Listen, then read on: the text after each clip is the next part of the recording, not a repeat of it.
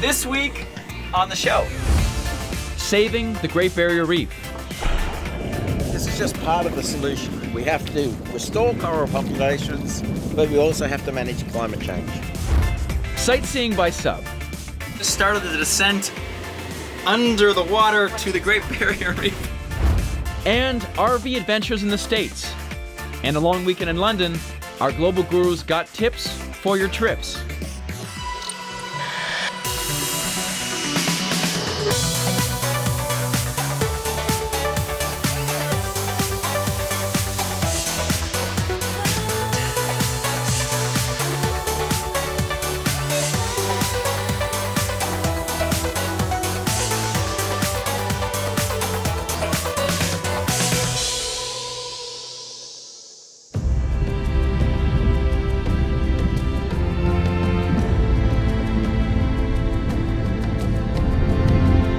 Australia's Great Barrier Reef is enormous.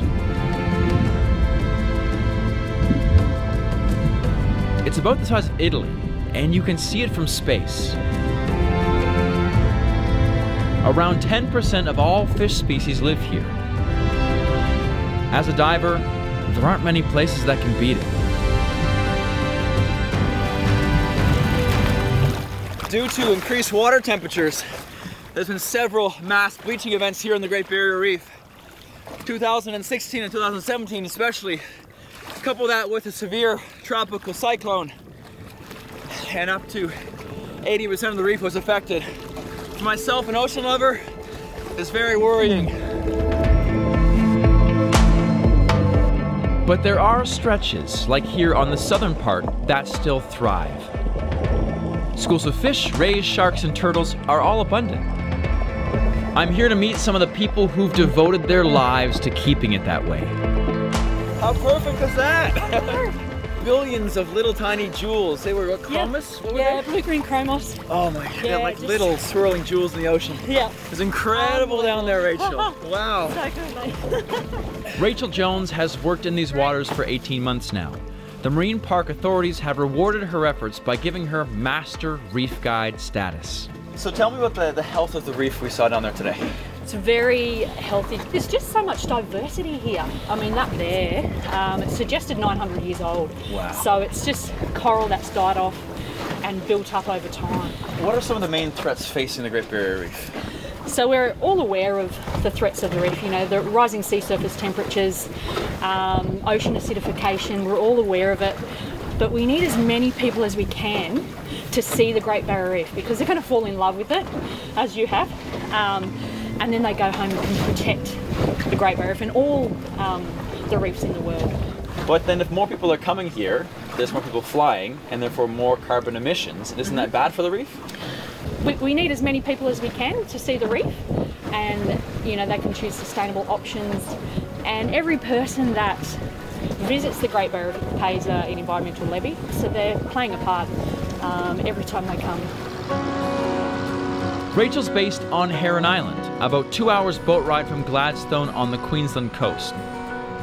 There's a resort and a research station built on the site of an old turtle soup factory. These days, people here want their wildlife protected rather than liquidized. So, Andy, exactly how big is the Great Barrier Reef?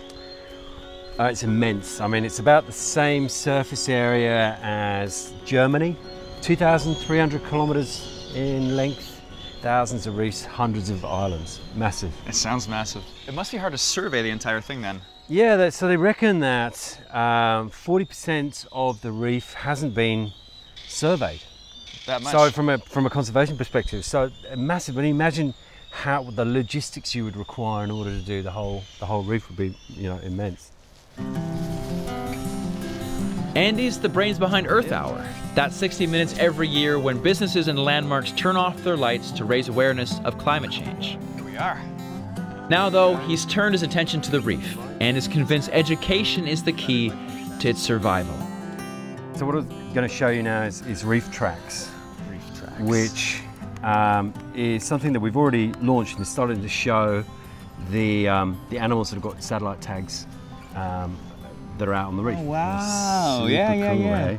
So this is um, green turtle? Yeah, green turtle, tiger shark, whale shark. This is about to show you show you a whale shark. So this is the first whale shark that's ever been tagged on the Great Barrier Reef, Uh huh.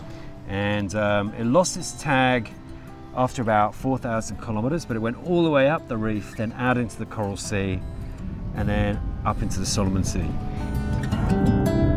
The idea is to make people all over the world feel more attached to the reef and more fired up about protecting it. But the project he's hoping to launch next is even more ambitious and aims to give tourists here a proper role in data collection. We call it the Great Reef Census, mm. and the idea is to, to try and do a, um, a state of the reef survey in a really short period of time. So you imagine that every tourism boat becomes a research boat for that period of time. And anybody who's like a proficient snorkeler who's out on those boats can become part of this project. So that's kind of in the water piece. But then beyond that, the citizen science, where the citizen science really kicks in, is the analysis. So you've got this shot of a piece of reef, it's geotagged so you know where it is. Then you could be sitting in your uh, bedroom in Amsterdam or you know your office in uh, London, and you can you can be part of the analysis. It's a really ambitious project, so it's not been done before like this uh, or, or on this scale.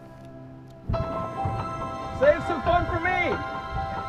Collecting information is one thing, but there's been a significant breakthrough this year that has seen new life brought back to dead and dying reefs. One night a year, the coral simultaneously release millions of eggs and sperm into the waters. It looks like a massive underwater snowstorm. Professor Harrison has set about capturing that spawn and relocating it to areas that need it most. Okay, what's the plan? Okay, Mike. So what we're going to do is I'm going to ask you to take these calipers Okay. and just go down and measure the coral. He measures the new coral regularly and has found that it's been thriving, but he's also found that after three years, it's sexually reproductive, triggering a domino effect of regeneration. Can you tell us a bit about the breakthrough you've made? Yeah, so what we've been doing is some really exciting research. One of the innovations that we've just trialled in the Philippines is using an underwater robot, which we've called Luna, the larval bot. And Luna is helping us deliver literally millions of coral larvae onto really degraded reef systems. And the really exciting news is that we've got to hectare scales, which means we can start to think about large scale restoration using this larval technique on reefs all around the world, including the Great Barrier Reef. This is just part of the solution. We have to restore coral populations, but we also have to manage climate change.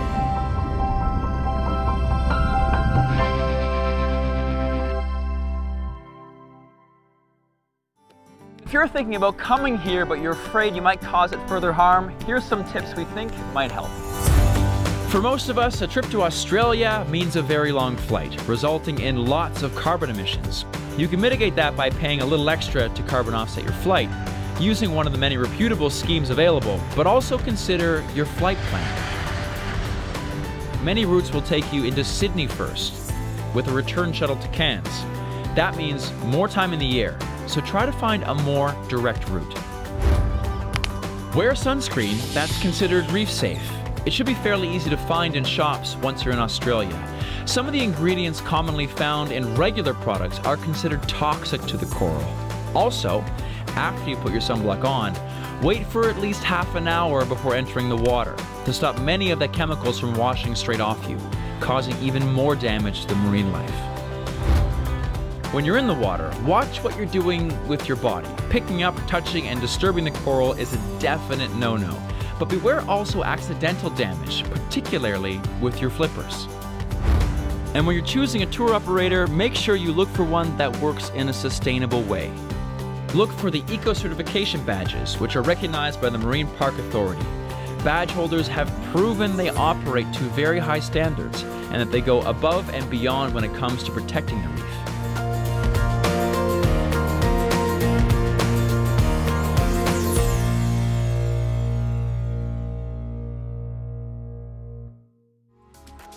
Still to come on the travel show.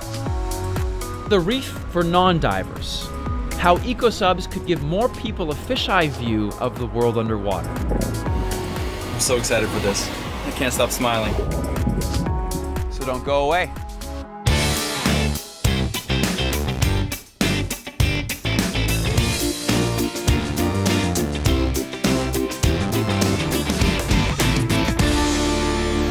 Hello.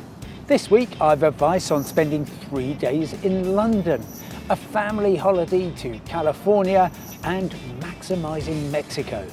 First though, Starting this month, New Zealand is imposing an admission fee, a $35 international visitor conservation and tourism levy, which the government in Wellington says will help protect the environment and pay for infrastructure. Also, from October, it's bringing in an online permit for travellers who don't currently need a visa. The New Zealand Electronic Travel Authority, or NZETA, will cost $9 via an app or $12 on the website. Next, Christine Mast gets in touch from the US to say she's planning a visit to the UK in September 2020. We'll only have three days in London, so what would you suggest we do there? I'm going to suggest that the key to your visit is getting a good geographical location right in the heart of Greater London, and that means Waterloo. That should mean you can walk everywhere in the capital in hopefully the warm autumn sunshine. Unlike many US cities, central London is compact and you can plan on shopping, sightseeing or visiting the great museums and galleries as you wish. Waterloo is also ideally located for a boat trip downriver to Greenwich, the glorious Thameside suburb. And you can catch a train direct to Windsor, a pretty English town which happens to have an enormous castle attached. Tamsin Bow is heading in the opposite direction from the UK to the US. With her 11 and 16 year old boys in tow, they're going on a family holiday to California, flying in and out of San Francisco with 18 days in between. We want to explore and have a bit of a road trip. Where should we go? And should we rent an RV? Take State Route 1 south from San Francisco to Los Angeles. The drive along the Pacific coast really is one of the world's great road trips. You can call in at Monterey with its great aquarium and also have a look at the scenery at Big Sur. After a couple of days in LA, you can swing around and head north for Death Valley and Yosemite National Park. I recommend against a camper van or RV the roads can be very tricky for what can be as large as a furniture truck. Much better, in my experience, to rent a car and stay in budget motels or at peer to peer accommodation. I suggest in Yosemite National Park that you try camping. And in the Los Angeles beachside suburb of Santa Monica, there's always the Youth Hostel for Pacific Coast living at Midwest prices. Time to head south of the border Ronald Smith wants to explore central Mexico. We want to start in Mexico City, travel to Puebla, and then on to Oaxaca. Is this a good plan? And is it better to use public transport rather than drive? Mexico City is one of the world's outstanding capitals. But to get some advice for you, I've called in an expert. Puebla and Oaxaca are two of the most beautiful states of Mexico, so it's a great plan. The first stop must be in Puebla. Here are spectacular tortures, colorful colonial houses, and restaurants in which you can try the mole poblano, one of the most typical and old Mexican dishes. Four hours driving from Puebla, you will find Oaxaca. Here you can visit Hierve el Agua, an incredible natural well site with petrified waterfalls and awesome views. Back in the city of Oaxaca, go to the temple Santo Domingo, eat tlayudas, and drink mezcal rent a car. That way, you can easily move from one state to another. The road that connects both states is safe and in good conditions. That's all for now, but do keep sending in your travel problems and I'll do my very best to find you the answers. From me, Simon Calder, bye for now and see you next time.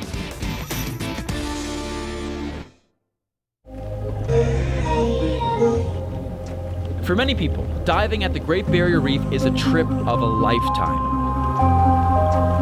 There are few places on Earth you can come within touching distance of such abundant wildlife. This is Heron Island, just a couple hours boat ride from the Queensland coast.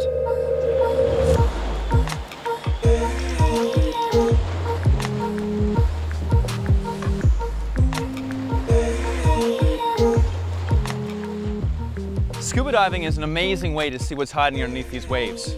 But if you can't scuba dive, there's other ways you can do that too. You can snorkel, you can take a glass bottom boat, but there's a new kid in town, something quite exciting. This sub belongs to Harvey. He's teamed up with a rideshare app and has been hiring it out for short trips. They're just getting it ready for us now. It's still not cheap though, at 3,000 Australian dollars for two passengers. What an incredible thing. That's just over 2,000 US dollars or about 1,600 pounds. This is it. The submersible. But Harvey thinks this is the future. Now, so many more people can get underwater. Um, you've got a ton of people that can't for various reasons. You've got a ton of people that can't scuba dive. Uh, this gives people that ability to get underwater and explore and see what there is under the water. The submarine industry is still in its infancy. Currently, there are no other operators on this reef. Many deep sea ventures in other parts of the world require you have very deep pockets. You know, it's a small industry, but it is growing and expanding. Uh, submarines are inherently expensive. The rides are fairly expensive, but it is changing, and um, and you know, costs are coming down, price points, things like that. Aquatica is working very hard to to come to market with low, you know, lower cost submersibles to be able to get more of them in operation. Getting into the sub. This is usually the the Fun and games it might be, but in the safety briefing, you're under no illusions that this is a serious piece of kit. Do listen closely to the staff. Do inform us, inform us of any pre-existing health conditions. Do bring your camera. You got your camera? I got my camera. Don't wear excessive perfume. Do I smell? Small little spot. You smell great. We're good to go. Don't bring any matches or lighters. No. Don't drink lots of fluids before you dive. No There's no toilet. okay, I think we're good then. Yeah. If you wouldn't mind hopping on the scale for me. Guess my weight. I'm gonna say 86. 85. Dude. Not bad. You win the prize. There you go. So yeah, if you wouldn't mind hopping on here. This is for, for trimming the submarine. We just weigh all passengers, kind of like the helicopters, right? 86. Ah, It is a tight squeeze in the three man sub. It's actually a repurposed research vehicle, and after these tourist trips, it's off to the British Virgin Islands to survey some of the damage left by Hurricane Irma. All right, you ready to go down? I am ready to go down. All right. Comms near bottom. Over. And here we go. We have just started the descent under the water to the Great Barrier Reef. Look at this. the water is slowly coming up and about to engulf us. I feel a little bit nervous. Um, once you're fully submerged, I have the feeling you're gonna completely forget. Wow.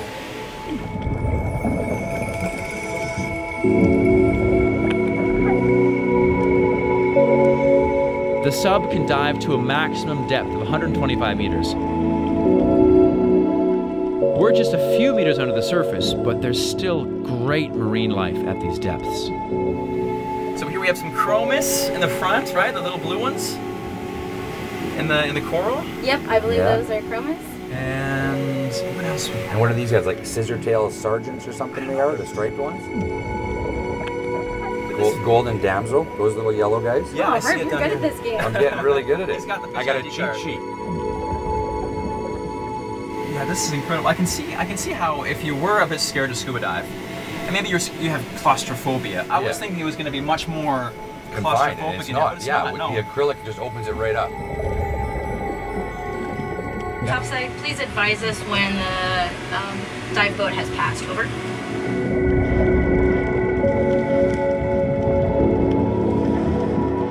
So can you tell us a bit about how this is powered? Uh, the submarine's fully electric. We have a 240 volt DC uh, electrical system, you know, uh, electric thrusters uh, powered by lead acid batteries. And, uh, and that's about it. It's very simple. Yeah. So no Yeah. emissions then? No, no emissions, no gas, no oil, no diesel, no nothing. It's incredibly environmentally safe. Um, nothing to leak into the ocean, and uh, and battery powered. And you know, we charge her up and away we go. So Beautiful, yeah. And we all know that the coral reef's quite fragile. Yeah. So is there any issue bringing something so big down under the water? Uh, no, not at all. Not at all. As you can see, she has tremendous control of the sub. Uh, you know, buoyancy control and whatnot, and manipulation. You know, with the thrusters, she can park it anywhere you want, and she can keep her nice and nice and nice and high off the reef and whatnot. And with the view you have, you know, traveling around, I mean, it works out very well and, and incredibly in control. You wanna know, try so it? you get all types. Can I drive it? Yeah. All right, um, I might just grab it back if things go a little bit funky. Um, so Wow. Okay. forward is forward, just hold it low. All right. Yep. And I'll just do the vertical for you. You're Okay. just gonna drive. So why don't you take us a little bit closer? So I, I go I do Just forward. this is forward. Yep. Whoa. And just don't touch those ones. Okay. And I'll just do a little bit. And then give her a little bit of back. That's a little too much. Okay. You don't want to run into the reef. That is a bad idea. I can't. bel- I'm not qualified for this. But actually, it's quite simple, right? It's very much like a like a PlayStation controller, like from a video game. Copy that. Perfect. Over. We are right in line with the jetty. Uh, we've made our whole round trip, and so now we're gonna pop up to the surface and head back to the dock. And it's all over. That was fun though.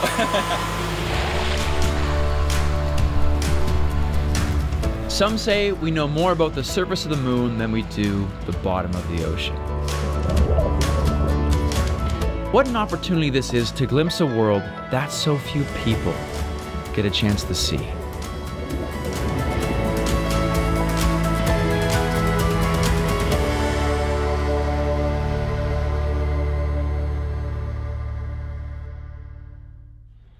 Well, the sun's setting here on our time over the reef. For more from this wonderful but fragile environment, check out bbc.com/travel, where you can explore some of the stories we've brought you from here in greater detail. But coming up next week, Rogeland's in Florida as the Kennedy Space Center marks its 50th anniversary of those very first moon landings, and looks ahead to being a hub for the space tourists of the future. And in the meantime, make sure to check us out on social media or on all the regular channels. Just search BBC Travel Show to tag us in your photos and your videos around the world. Until then, enjoy exploring, and we'll catch you next time. Bye bye.